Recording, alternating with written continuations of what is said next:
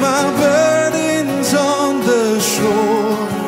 I went down a sinner, came up a saint, died with Christ. Now I'm reborn. Yes, He washed me in His mercy, and He cleansed me with His